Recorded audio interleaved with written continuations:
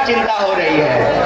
हमने कहा, साहब, अगर जामिया में भी सुरक्षा की चिंता है, तब तो हिंदुस्तान छोड़ ही देना चाहिए। और आप सब लोगों का यह प्यार देख करके मुझे अपने कहे पे पूरा भरोसा है कि जो मैंने कहा वो सही कहा था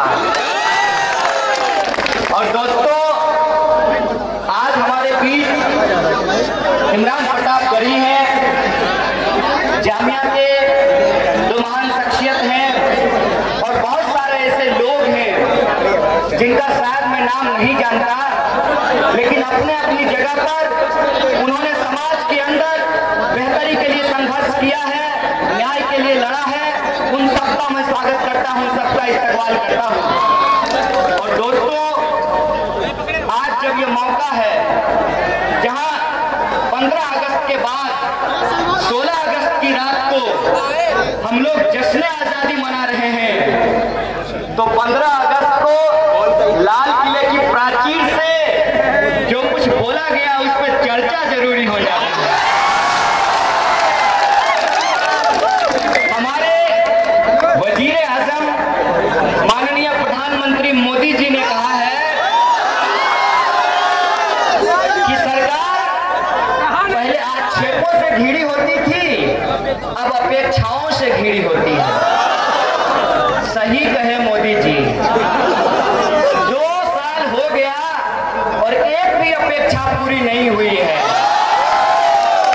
अब ये बताइए कि अपेक्षाओं के बोझ के तले सरकार खत्म हो जाएगी अपेक्षाओं को पूरी कब करेगी? मोदी जी कह रहे थे कि अपने काम को अगर गिनाने लगूं तो एक सप्ताह तक लाल किला से भाषण देना पड़ेगा। अच्छा मोदी जी मुझे बताइए कि अगर आप 15 लाख रुपया लोगों के अकाउंट में भेज दिए होते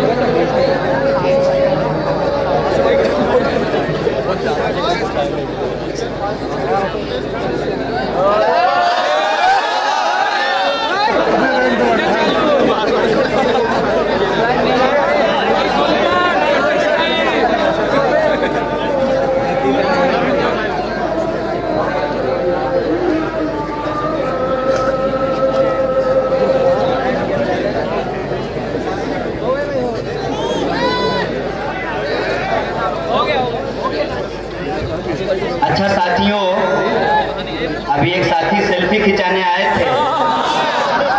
सेल्फी खिंचाइए, लेकिन मोदी जी की तरह सेल्फिश मत हो जाइए। क्योंकि जिस तरीके से सेल्फी की हवा बही है सेल्फिशनेस भी बहुत तेज़ी से बढ़ रहा है। दोस्तों तो मैं ये कह रहा था कि मोदी जी बोले अपना काम गिनाने लगूं तो एक सप्ताह तक लाल किला से भाषण देना पड़ेगा।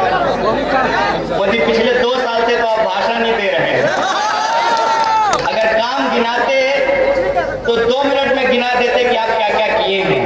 अब बताइए, खाता में पंद्रह लाख आया कि नहीं आया? गिनाने में कितना वक्त लगेगा? लोगों के लिए जीवन में खुशहाली आई कि नहीं आई इसको बताने में कितना मिनट लगेगा? हाँ बोलो। असली बात यह है कि इन्होंने कुछ काम किया ही नहीं है बोलो। और जब काम किया नहीं है तो उसको ये गिनाना नहीं चाहते हैं। लेकिन उसको नहीं गिनाना चाहते हैं तो उसको बोलेंगे कैसे? तो उसको इन्होंने दूसरे तरीके से बोला है। अच्छी बात है मोदी जी आप बोलिए लोग आपका सुन रहे हैं। लेकिन लोग भी आपस में चर्चा कर रहे हैं। तो बनारसी हमारे यहाँ बातचीत कर रहे थे चाय की ढाबे पे। बोले, भैया, मोदी जी को अगर न्यूयॉर्क इतना पसंद था तो हम लोगों को टोक्यो बनाने का वादा क्यों किया? जितनी बार ये न्यूयॉर्क गए हैं, उससे कम बार ये बनारस आए तब दूसरे ने कहा कि साहब इनका इतिहास तो सोलह दुनी आठ था ही इनका भूगोल भी चौपट है। और हम बनारसी लोग पान दवा करके इनको देख रहे हैं। और 19 में इनका हिसाब किताब बराबर कर देंगे इनका इतिहास तो सब ठीक हो जाएगा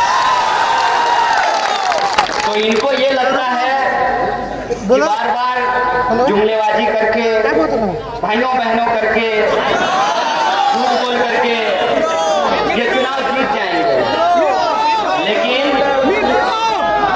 जनता सब जानती है और जनता सब समझती है। जनता उस वक्त आपसे ये नहीं पूछेगी कि मोदी जी अफ्रीका में जाकर के आप कितना बढ़िया ढोल बजाए हैं। आपसे ये भी नहीं पूछेगी कि आपका सूट जो था उस पे आपने जो मोदी मोदी लिखवाया था, उसका आइडिया आपको कौन दी थी ये भी नहीं पूछेगी। जनता पूछेगी कि हमारा दाल का दाम क्यों कम नहीं हुआ? हमारा टमाटर का दाम क्यों ऊपर चढ़ गया है? काला धान वापस क्यों नहीं आया? और देश में अगर कोई धनवान हुआ है तो बाबा जी हुए हैं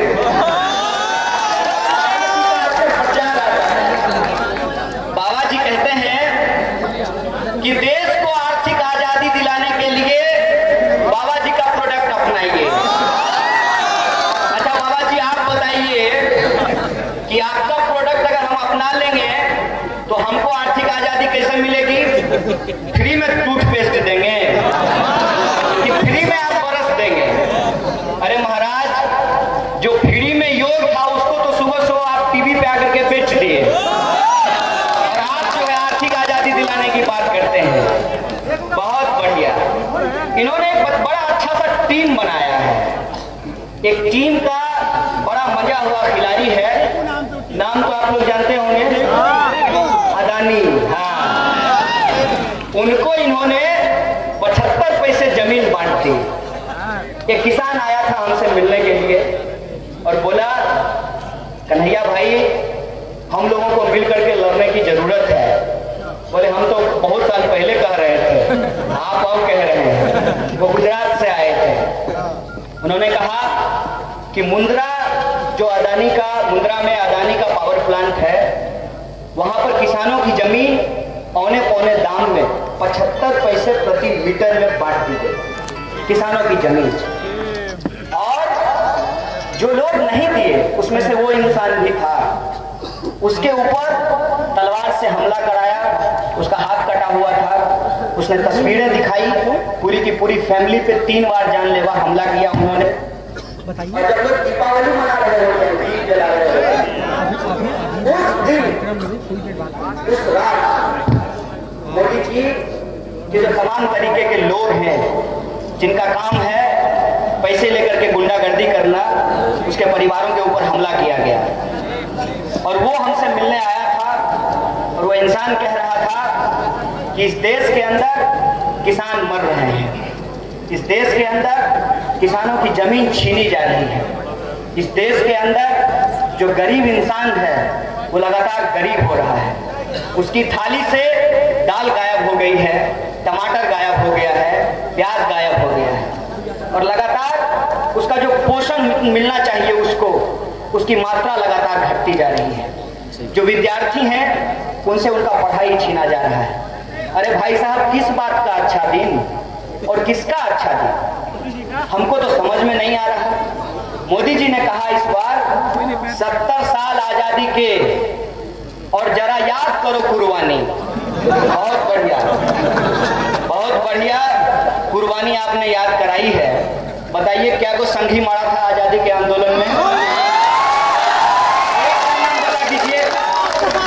एक कच्छाधारी जो आज़ादी के आंदोलन में मारा था और दूसरा, ये कहते हैं कि हमारे जवान सीमा पे मर रहे हैं। मोदी जी, आपका चाचा है कि भतीजा है? कौन है बताइए तो जरा। कौन है फौज में कितना नेता है जिसका बेटा फौज में जाता है, कितना लीडर है, जिसके परिवार के लोग जाकर के सेना में काम करते हैं, कितना नेता है, जिसका परिवार पुलिस में जाकर के नौकरी करता है, किसान का बेटा जाता है फौज में, किसान का बेटा जाता है पुलिस में, और वहाँ मरवा देते हो, किसान के बेटे को बॉर्डर पे, और यहाँ किसान कुर्बानी दे रहा है खेत में। याद करेंगे हम कुर्बानी, क्योंकि हमने कुर्बानी दी है। हम कुर्बानी दे रहे हैं इस देश के खेतों में। हम कुर्बानी दे रहे हैं इस देश की सीमाओं पे। लेकिन हमारा सवाल है कि हम किसके लिए लड़ रहे हैं? और हम क्यों लड़ रहे हैं? और हमको क्यों लड़ाया जा रहा है? ये सवाल हमारे लिए बहुत महत्वपूर्ण है। मोदी जी कह रहे थे, और मोदी जी से पहले बहुत सारे कच्छाधारी भी कहते रहते हैं कि हम भारत को हिंदू राष्ट्र बनाएँगे। अरे अडवाणी जी आपको अगर हिंदू राष्ट्र बनाना था तो पाकिस्तान से भाग करके हिंदुस्तान क्यों आ गए? पाकिस्तान में ही रुकते, वहीं राष्ट्रीय स्वयं स्वयं सेवक संघ बनाते। और उसी को उसी को आप आप हिंदू राष्ट्र बनाने की कोशिश करते, तब समझ में आता, असली मसला क्या है? असली मसला यह है कि जो मुसलमान इस देश के अंदर इस मिट्टी को अपनी मिट्टी समझ करके रुक गए। आज उनको सांप्रदायिकता के आधार पे बांटा जा रहा है। धर्म के आधार पे बांटा जा रहा है। और उनको टारगेट करके, उनको टारगेट करके हिंदुओं को एकजुट होने की बात की जा रही है। सही बात है कोई भी धर्म अगर एकजुट हो जाए तो कोई दिक्कत नहीं है बताइए मोदी जी कब से अपने ब्राह्मण अपनी बेटी की शादी दलित से करना शुरू करेंगे। दलित जो है, अपने बच्चे की शादी नॉन दलित के साथ करना शुरू करेगा, मैं भी देखता हूँ। कब ओबीसी जाकर के दलित के घर में खाना खाना शुरू करता है, ये मैं भी देखता हूँ। ये जो जात पात है, ये जात पात कभी भी हिंदुस्तान के अंदर हिंदू धर्म को एक नहीं होने दे सकता है। और हिंदू धर्म को अगर एक करना है तो जात पात मिटाओ। धर्म को एक करने का मतलब किसी दूसरे धर्म को खत्म करना नहीं होता है। क्योंकि अभी मैं गुजरात घूम करके आया हूँ। और गुजरात में अरे बड़ी सुना था भाई साहब गुजरात मॉडल के बारे में। तो हमको लगा कि हम भी जरा देख आए। सड़क पे जब गाड़ी चल रही थी तो पता ही नहीं चल रहा था कि गड्ढे में सड़क है कि, कि जो है सड़क में गड्ढा है। और बैठे हुए थे गाड़ी पे फोर व्हीलर पे, और मज़ा झुलवा कर ले रहे बहुत हिला रहा था भाई साहब। हिलते हिलते जो है, जहाँ जाना था, वहाँ पहुँचे। तो हमने कुछ लोगों से बातचीत की, और हमने पूछा कि बताइए गुजरात मॉडल क्या है? कहा कि गुजरात में तीन तरह के लोग रहते हैं। एक वो लोग जिनका पाँव कभी ज़मीन पे नहीं उतरता, एक उनका गुजरात है। एसी अगर 16 से नीचे कर देते हैं तो 16 से नीचे होता नहीं है। 16 से ऊपर कर देते हैं तो नींद नहीं आती है। और एक वो लोग हैं जो बीच में हैं। 16 पे अगर ज़्यादा एसी चलाएँगे तो बिजली बिल ज़्यादा आ जाएगा तो 20 इक्कीस पे चलाने वाले लोग हैं। और एक वो तबका है जो एसी का मुँह नहीं देखा है। तो तीन तरीके का गुजरात है। तो हम बोले, गुजरात मॉडल क्या है? बोला, गुजरात मॉडल यही है कि जो एसी का मुँह नहीं देखा है, उसको एसी का मुँह नहीं देखने दिया जाए और 16 वाले को 17 ना करना पड़े और 20 वाला घटा करके 17 ना कर पाए, यही गुजरात मॉडल है। बोले, अगर हम इसको देहाती में समझना चाहें तो देहाती में समझना है तो ये समझ लीजिए कि जो इंसान सूखी रोटी खा रहा है, तैयारी है कि उसकी सूखी रोटी भी छीन ली जाए। और जो लोग बड़ा भरपेट खाने के बाद डाइटिंग करते हैं, उनका डाइट थोड़ा और बढ़ा दिया जाए। हम बोले बहुत बढ़िया है। मतलब गरीब गरीब हो रहा है और अमीर अमीर हो रहा है, यही गुजरात मॉडल है। बोला, बिल्कुल सही पकड़े हैं ये जो गुजरात मॉडल है इसके पीछे एक और सच्चाई है। वो सच्चाई क्या है? जो कि अक्सर लोग चर्चा में मिस कर जाते हैं। अभी एक सेमिनार हुआ था संघ टेरर के ऊपर। और उसमें ये दिखाया गया कि कितना जो है, टेरर फैलाया जाता है आरएसएस के द्वारा समाज के अंदर। बकायदा इनसे जुड़े हुए 600 से 30 ज़्यादा संगठन हैं अलग अलग नाम रख लेते हैं। कहीं पे सनातन सेना हो जाते हैं, कहीं पर भगत सिंह क्रांति सेना अलग अलग नाम से ये जो है काम करते हैं संगठन के अंदर, और इनको पकड़ पाना बड़ी मुश्किल होता है। तो ये बोले, जब गुजरात में दहशत फैलाना था तो इन्होंने खुद ही बम ब्लास्ट कराना शुरू कर दिया। और ये बताया कि अगर हिंदू यूनाइट नहीं होंगे तो मुसलमान जो है गुजरात के अंदर हिंदुओं को मार देंगे। ये जो टेरर है इस टेरर के आधार पे उन्होंने एक सेग्रीगेशन किया सोसाइटी के अंदर। वहाँ पे हिंदू और मुसलमान एक साथ नहीं रह सकते हैं, क्योंकि सरकार का कानून है। सरकार का कानून है कि मुसलमान हिंदू के मोहल्ले में जाकर के मकान नहीं खरीद सकता है। हालाँकि बिना कानून का ही पूरे देश के अंदर ये चल रहा है कि एक मुसलमान को हिंदू के मोहल्ले में मोहल्ला में कमरा नहीं मिलेगा। लेकिन गुजरात के अंदर कानूनी तौर पे ये काम कर दिया गया है। हमने कहा कि ये सेग्रीगेशन क्यों किया गया है? बोला, ये सेग्रीगेशन इसलिए किया गया है कि जब दंगा हो तो पहचान का संकट नहीं हो, बहुत आसानी से लोगों को खत्म किया जा सकता हमने कहा, बहुत बढ़िया। बहुत बढ़िया जो है, आप लोग जो है अखंड भारत बना रहे हैं। धर्म के नाम पे लोगों का चूना लगा रहे हैं। हमने कहा, ठीक है, लेकिन ये बताइए कि ये धर्म का फसाद जब कम हो जाएगा, लोग जब अल्लाह और राम दोनों को बचा लेंगे, तब पेट का सवाल आएगा कि नहीं आएगा? बोला, पेट का सवाल हमेशा ऊपर होता है, लेकिन उस पेट के सवाल को ही पीछे ढकेलने के लिए अल्लाह और राम को आगे ले आया जाता है। हमने कहा कि फिर उस धर्म के बारे में पढ़ करके लोग आपस में चर्चा क्यों नहीं करते हैं? बोले, आप किस लोगों से अपेक्षा करते हैं? जहाँ लोग ज़िंदा इंसान को मरे हुए जानवर के लिए जानवर की तरह मार देते हैं, उनसे आप क्या अपेक्षा करते हैं? हमने कहा, लेकिन मुझे हिंदुस्तान के इतिहास और इसकी जमहूरियत पे बहुत भरोसा है। उसने कहा, मुझे भी भरोसा है। और मुझे बार बार लगता है कि लोग चाहे कितना भी कह ले, गुजरात मोदी का नहीं, गांधी का है। और जो लोग आज हिंसा फैला रहे हैं समाज के अंदर, उस हिंसा का जवाब हम देंगे और हमारा तरीका अहिंसक होगा। और मुझे भी कई बार सोच करके लगता है कि जो गांधी कहते थे, वैष्णव जनते तेने कहिए रे आजकल तो वैष्णव जन तो तेने कहिए पीड़ पड़ाई दूसरे को जो जो पीड़ा दूसरे को दे दे वो आजकल वैष्णव जन बनने को तैयार है। ये जो परिभाषा बदली गई है इस परिभाषा को बदलने के पीछे कौन सी साजिश है इस बात को हमको समझना पड़ेगा और जो बात समझ में आती है वो समझ में ये आती है कि मसला सिर्फ़ हिंदुस्तान का नहीं है। याद रखिएगा जामिया के अंदर जब बात में ये खड़ा होकर के बोल रहा